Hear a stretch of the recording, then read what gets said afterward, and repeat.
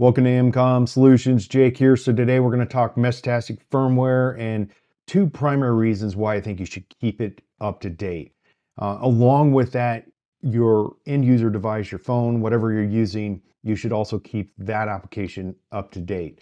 Just for one, those two things are going to help in a relative sense remove some of the issues maybe you are experiencing. First big thing is security, right? If you're not aware, when they went from the 2.4 series of firmware to the 2.5 series of firmware, they added in public keys. Now, now what this does for you is if you have, you keep the LongFast default channel and you see another node up on your list and you want to send that person a direct message, there's public keys attached to that and gives you, you know, a relatively private conversation with that individual. Um, if you see, and how do you know this, right? If you're looking at your application and you see, and I'll show an image here in the video, you see that you you probably maybe notice that lock feature on there. There's a little locking when you go in your node list, and if it's green and it's locked, they're running. They have the public keys, right? They're running the 2.5 and above. If it's yellow and unlocked, most likely they're running the 2.4 and below. Now, can you still message them? Yes. Um, and I'll, I got a little caveat to that here in a second. Um, but there's no public key there. So that's in essence kind of just an out in the air message that could be very easily uh, intercepted. Uh, if you don't care, then that's on you. But if you do care, uh, update your firmware. Now, I did have a comment recently on one of my videos, uh, expanding your Meshtastic network about this individual situation was they were uh, i believe he didn't give firmware versions but he said he recently updated to the latest version. So i assume 2.5.20 and this is february 2025 as of doing this video. Um that's the latest stable version out there beta stable. And he could no longer because he was seeing over uh, like 100 nodes in his local area that he'd picked up before and had built up in his node list right? He could no mm-hmm. longer see any of those nodes. And that got me thinking i was like well that's when i was home back in washington state in january i did a lot of traveling in and around and i picked up a lot of nodes while i was in and around that area. And i noticed that it seemed like almost the majority of those nodes maybe 50 50 you know i didn't do the you know i didn't count uh were had the yellow unlocked lock icon on the node list versus you know maybe the other half had the green. So but i could still see them. So i was like okay you know that's interesting that he was no longer able to see it. So i took my my SenseCAP T1000-E and rolled it back to 2.4 version and connected to an end user device, my one of my phones, and then I had another radio set up connected to my other phone with the 2.5.20, um, both up and on and running.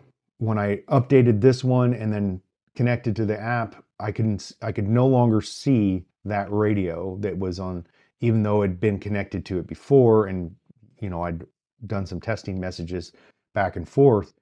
So I sent a message just through the LongFast channel and that radio received it. And then I sent a message from that radio back, you know, in the same LongFast channel and this radio received it. On that radio in the Meshtastic app, I could see this node, but on this one through the app, I could not. Only thing I could think of there is the if the app version maybe because I'm I'm no programmer or anything like that the app version now because it's updated recently. I think it's updated several times since they've went to the 2.5 um, just because it's not really that compatible. I mean it still works but not maybe some bug issues there with the 2.5 series firmware. So another reason for better user experience keeping those things up to date.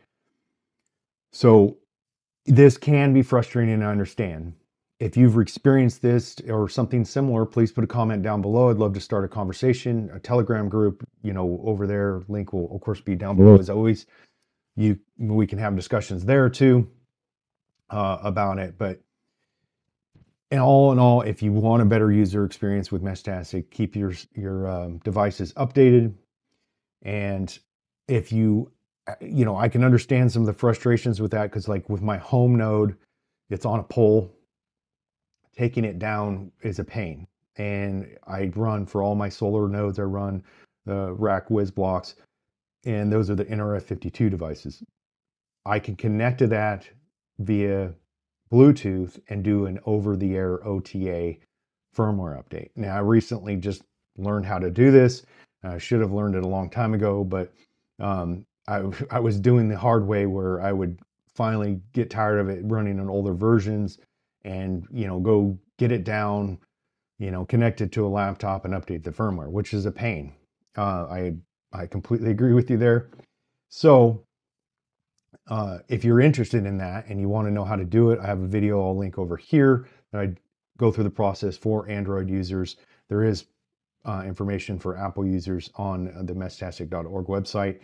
If you want to stay up to date with what's going on with the firmware, the number one place you can go is GitHub, the Meshtastic firmware release. Uh, they have notes over there that talk about what's changed, what bugs have been fixed, so on and so forth. Understand the developers, the contributors over there are doing this out of basically passion for Meshtastic. I believe there is absolutely zero monetary compensation. Now, as they roll into potentially the Meshtastic Solutions project, that might change a little bit.